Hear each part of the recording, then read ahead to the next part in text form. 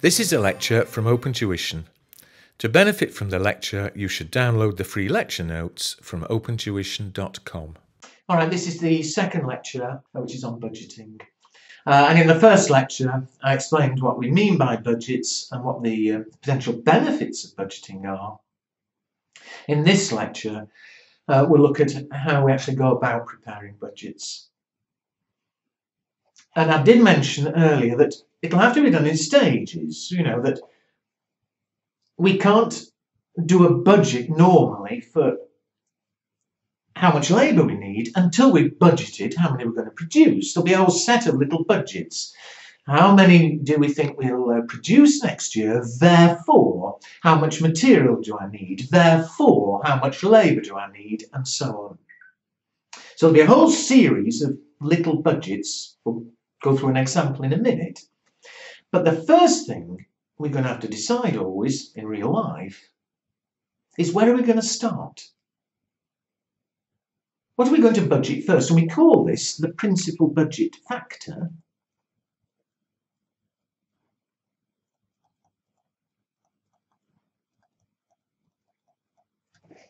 Uh, and it, which is paragraph 4, section 4 of the chapter. And I'm not going to read to you what's there, you can read it yourself after, but let me explain. We do need a starting point. And for most businesses, the first thing we'll budget is what is sales. Because only when we know how many we think we're going to sell can we then decide how many we're going to produce. And only when we know how many we're going to produce can we then decide how much material we'll need, how much labour we'll need, and so on.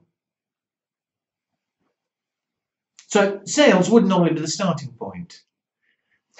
But not always. Let me give you an example. Suppose we make desks and I think we can sell 20,000 desks next year. But desks need wood. And for some reason, there's a, limit on how much wood we can buy next year. And we can only get enough wood to make 10,000 desks. And so despite the fact we could sell more, if the wood is limiting us, fine. We'd better start with a budget for the wood we can get. Then we can decide how many we can produce. And then we can decide how many we're going to sell. So the principal budget factor is the first item to be budgeted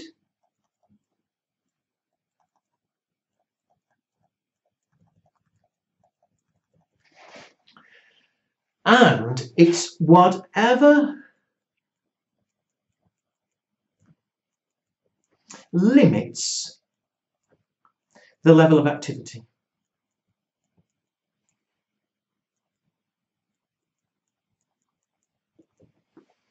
You know, why isn't the business going to be bigger next year?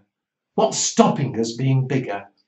Usually it will be the sales demand. If customers only want 50,000, fine. We can't do much about it. That's what's stopping us being bigger. Uh, but occasionally, it could be things, as I said, like wood, the material. If the material uh, availability is limited, well, that is what's stopping us producing more, selling more, and being bigger. So that's what we mean by principal budget factor.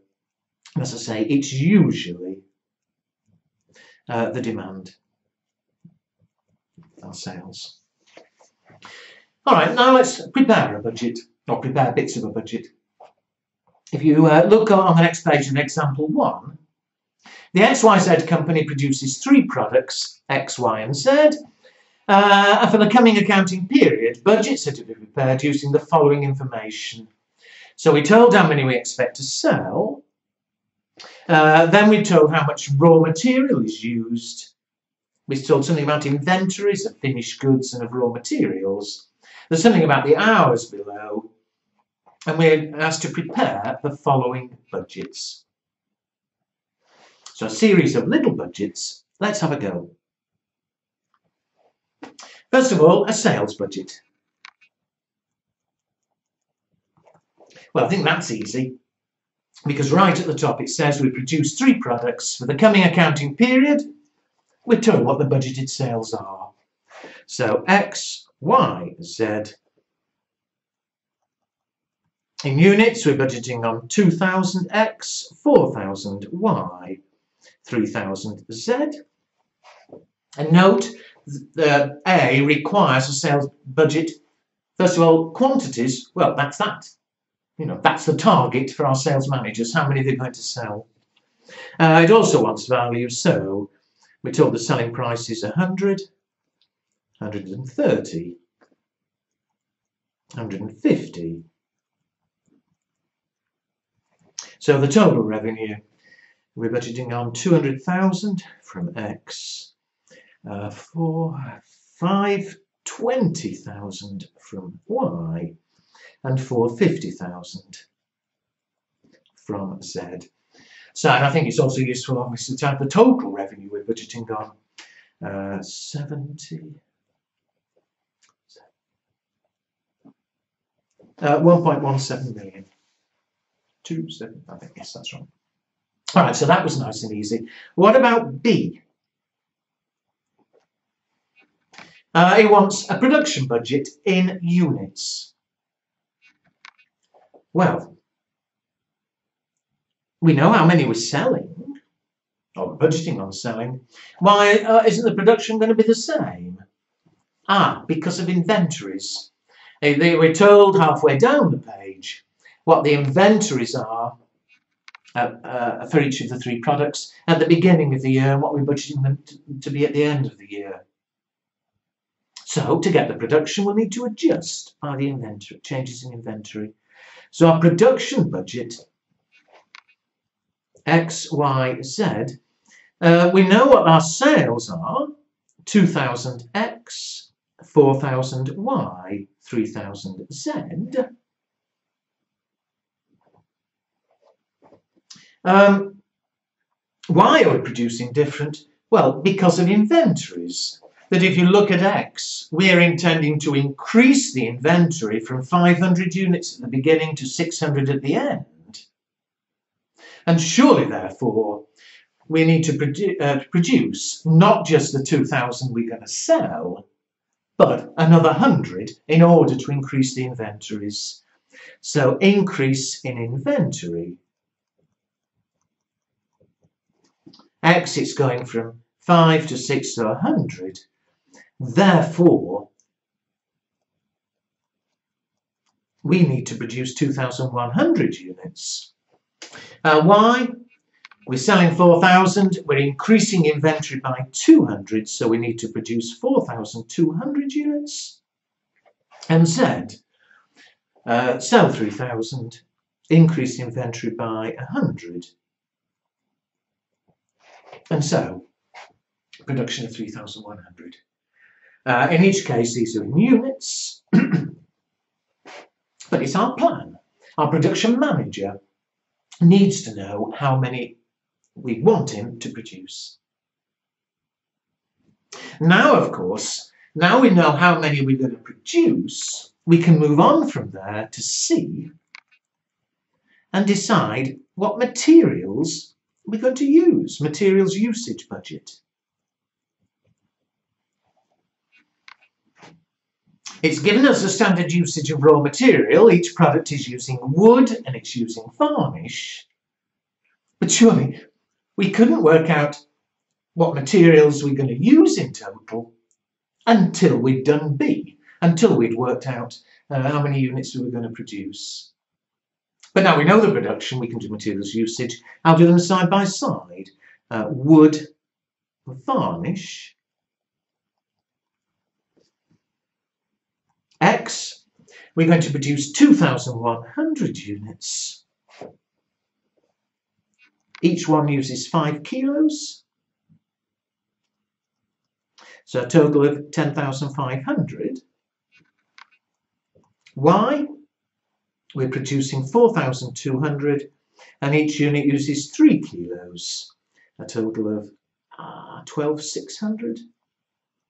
And Z, we're producing 3,100. Each unit uses 2 kilos. uh, a total of 6200. And therefore, the total wood we're going to be using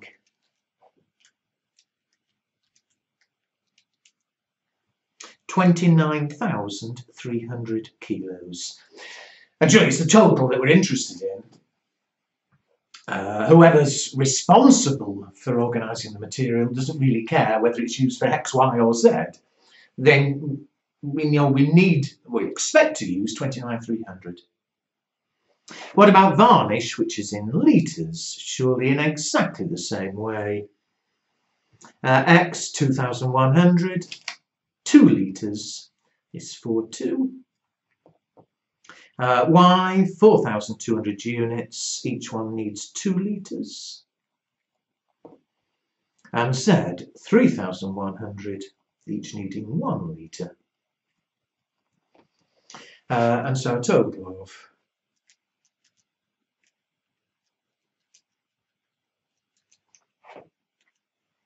fifteen thousand seven hundred litres. Okay, uh, what do we need now? Ah, a materials purchases budget. Okay, well we know how much, what materials we're going to use. Why should the purchases be different? because of inventories of raw materials. Uh, almost the last table there. Uh, we're told what the opening inventories of uh, wood and varnish are and what we're planning the closing inventories to be. And so, just as we were doing earlier, to get the purchases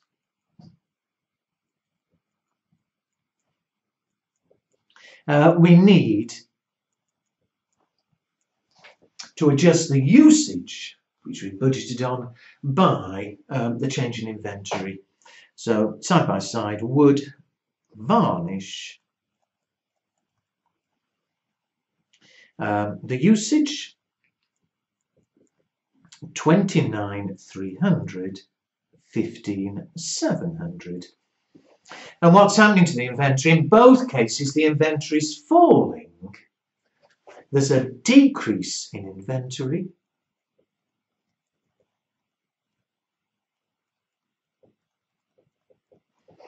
And if we're reducing inventory, surely it means some of the material we're using is being taken from inventory. And only the rest of it do we actually need to buy. For wood, the inventory is falling by 3,000. So we're using 3,000 kilos uh, for our production. Uh, we need to use 29,300 in total. Well, if we're taking 3,000 from inventory, it's only the remaining 26,300 that actually need to be purchased. And similarly, varnish. Uh, we are going to need to use 15,700, but a thousand of it is coming from inventory. Only the remaining 14,000, oops, 700 litres actually needs to be purchased. And what was wanted here? It wanted quantities. Well, that's how much needs buying. Uh, it also wants um, the budgeted value. Well, no problem. Uh, wood is costing, up near the top, $8 a kilo. Varnish, $4 a litre. And so the budget expenditure on each of them uh, would 26,300 times 8, 210 400, uh, and varnish 14,700 times 4, 58,800. So each one straightforward, but see how one budget leads to another budget. We've got this series of plans. We can't get material purchases until we know material usage. We don't know material usage till we know what the production is. We don't know what the production will be until we know what the sales are. Anyway, one final one, E, a labour budget in hours and value. Oops, wrong way. I'll do it in hours first we're told at the bottom the standard hours per unit. And so, how many units are we producing of each? We worked that out earlier. 214231. 214231. Did I get those right? Uh, uh, uh. 214231. Yep. So that's how many units we're budgeting on producing. Uh, the labour hours, X is 4 hours, Y is 6 hours a unit, Z is 8 hours. And so the budgeted hours in total, 8,400, 25, 200, 24, 800. The total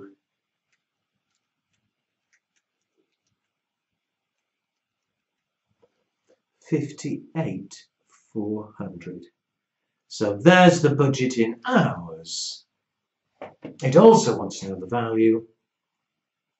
Uh, they paid at the rate of $3 per hour. So in dollars,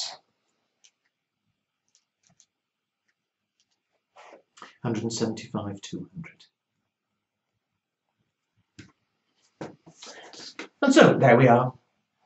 Uh, in practice, clearly there'll be um, more budgets, there'll be variable overhead budgets, fixed overhead budgets, and so on. And then ultimately, we could put them all together and produce a budget profit statement. All those little budgets we've done here are called functional budgets.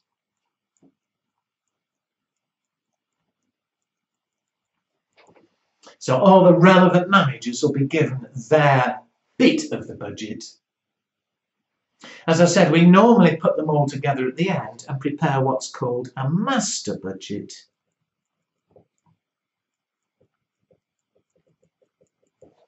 And the master budget, there's no precise rules here, but will normally be um, uh, a budgeted profit statement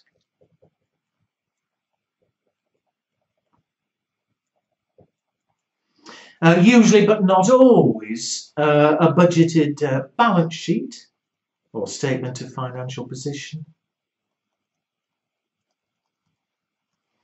Uh, very commonly, uh, a capital expenditure budget.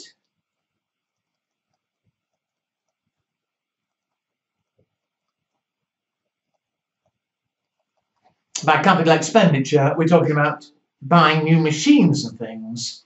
Uh, because of the cost involved, uh, we like to have prepared a separate budget saying, oh, we'll spend 100,000 on a new machine in January. We'll budget on spending 50,000 on new cars in June or whatever. Uh, and finally, a cash budget. Um, again, not always, I mean, it's up to individual companies what budgets they prepare, uh, but it's very common to produce a budget month by month of how much cash we expect to receive and spend. So we can forecast month by month what our cash balance will be in the bank. Um, it's useful particularly if we discover that one month we're likely to our cash balance to go negative. An overdraft, well, we need to plan ahead, you know, get permission from the bank to go negative or find a way of borrowing money. Or try and delay some spending to avoid it going negative. Anyway, there we are. The way we go about preparing the budget, these functional budgets, leading ultimately to a master budget. All right, well, again, I'm going to break. Let's this was the second lecture. Uh, we'll have one more, uh, talk about different types of budgets, but that'll be the next lecture.